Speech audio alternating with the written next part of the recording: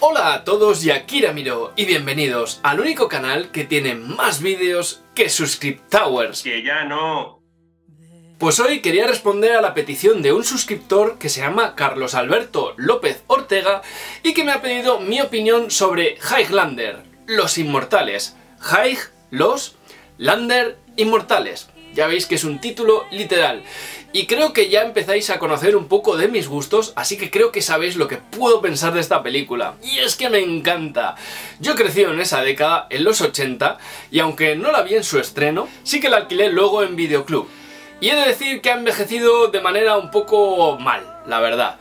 Eh, y ya desde su estreno me pareció que había una especie de desconexión entre la parte que ocurre en el pasado y la del presente. Es como que no estaban bien empastadas.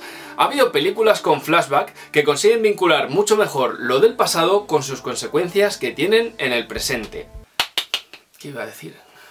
Cuando era pequeño, de hecho, me gustaba mucho más la parte de la actualidad, del presente, porque me ayudaba para la identificación con el personaje, las situaciones, los edificios, la ropa, me eran más cercanos.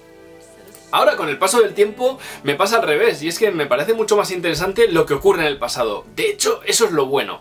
La parte de los escoceses, la parte de Ramírez, los orígenes de todo. Porque a la película además le permite jugar, tener una variedad de escenas, de situaciones, de vestuarios, pero ahora os lo cuento bien. Así que, ¡comenzamos!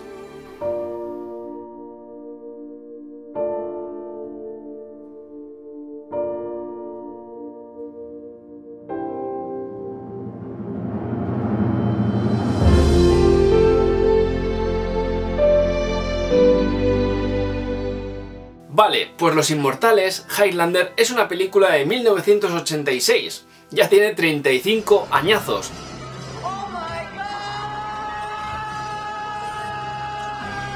Y no fue un gran éxito en su estreno, de hecho no sirvió ni para cubrir los gastos, pero luego arrasó en videoclub.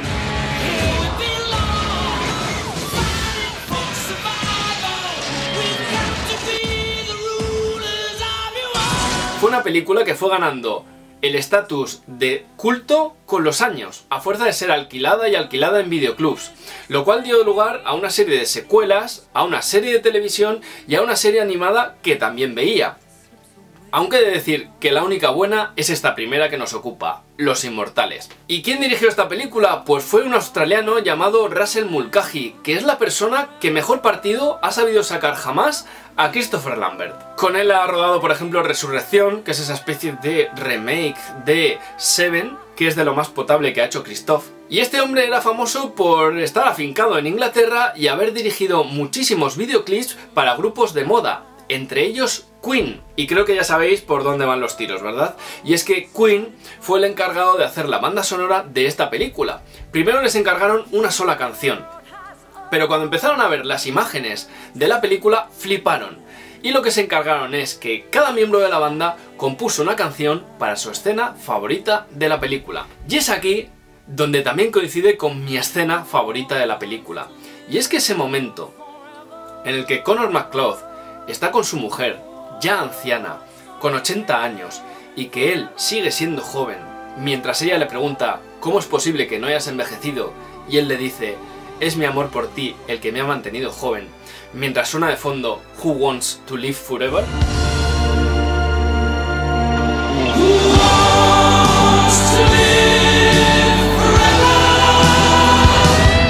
Les gustaría a muchas películas románticas poder tener esas cotas de sensibilidad y emoción. Me parece una escena fantástica. Y con respecto al protagonista, Christopher Lambert, pues él nació en Nueva York, él nació en Estados Unidos, pero desde pequeño estuvo viviendo en Francia, así que casi no hablaba inglés, lo cual no lo sabían ni los productores ni el director, y esto supuso un gran problema. Así que tuvo que tener un coach para perfeccionar su acento y hablar bien inglés. Él ya había protagonizado Greystock, la leyenda de Tarzán, pero ahí casi no tenía que hablar. Así que aquí tenía un mejunje de diálogos entre inglés y francés que viene muy bien al personaje, ya que como tiene muchísimos siglos, ya ha vivido en muchos países, ese acento funcionaba. A mí por lo menos me entra muy bien.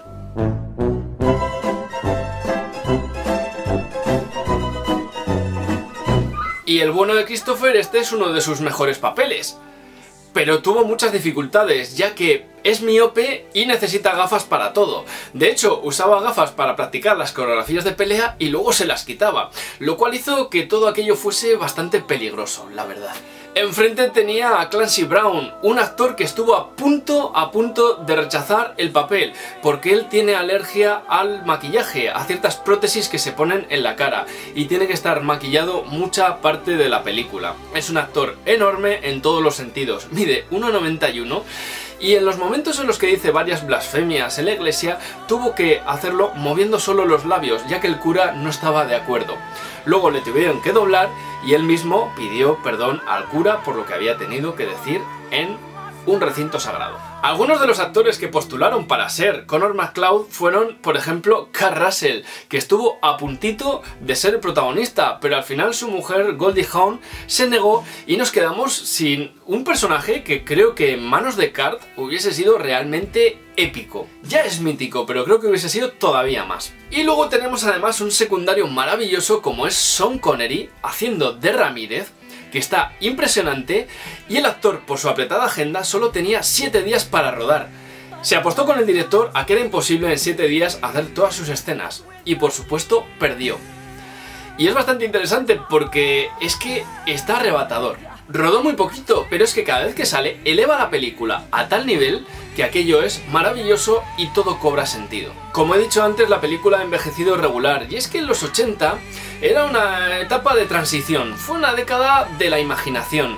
Veníamos de los 70, que quizás ha sido la mejor década de cine de la historia, con unas películas súper originales, con una forma de rodar muy auténtica, muy dura, muy pasional, en los 80 eran las tramas de la imaginación, está Terminator, Cazafantasmas, ET, El Coche Fantástico, Los Inmortales, y luego en los 90 vemos como aquello decayó bastante, y del 2000 a esta parte, eh, el cine son pequeños estertores de genialidad. El resto son remakes, secuelas, precuelas o sagas.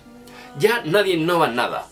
Por eso, estas historias al menos eran frescas, aunque no estuviesen hechas eh, con toda la calidad o lo bien pulidas que está el cine de ahora. El cine de ahora está muy bien hecho, tiene muchos medios, pero le falta el contenido que décadas atrás sí que siento que tenía. Y digo que estas tramas eran originales, entre comillas, porque el guionista Gregory Wyden se basó en una película del 77 para inspirarse en el guion de la trama de esta cinta y eran Los Duelistas, que fue la primera película de Ridley Scott.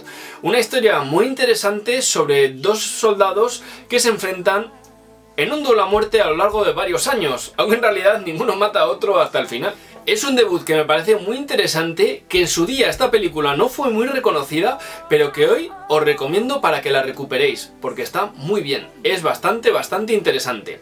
Y encima en Los Inmortales esto ocurre pero a lo largo del tiempo, con lo cual esto le beneficia mucho a la película. Porque esos saltos temporales son muy interesantes a la hora de cambiar los escenarios, la fotografía, el vestuario y las tramas.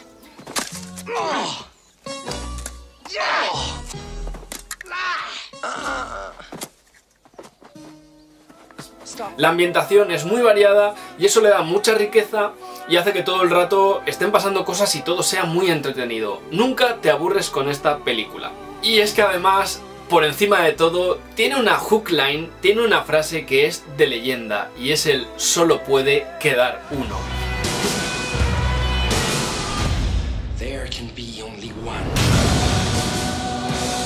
Es que solo oírla y te dan ganas de volver a verla. Es una película bastante especial, tiene cierta magia y además fue un rodaje peligroso, porque en ese duelo final a espadas entre el Kurgan y Connor McCloud, cuando chocan las espadas, en esa época no había CGI, entonces las chispas eran reales, y es que las espadas estaban conectadas a dos baterías de coche y cada vez que se juntaban, las chispas saltaban de verdad. Si a esto le sumamos lo de que Christopher Lambert no veía un pijo y que las espadas pesaban bastante, pues fue un rodaje bastante arriesgado en general. Y en un principio la película se iba a titular El clan de las sombras, que hacía más referencia a esta raza de humanos que tenían que ir matándose hasta que solo quedase uno.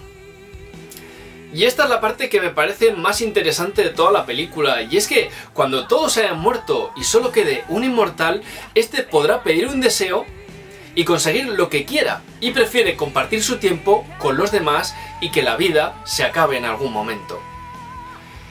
Y esto me parece una reflexión muy interesante, ya que todos sentimos envidia de él por ser inmortal y sin embargo él siente envidia del resto, porque pueden acabar su vida y compartirla con la gente a la que aman. Y eso es con lo que me quedo de la película, que al final su deseo es ser como los demás y lo consigue.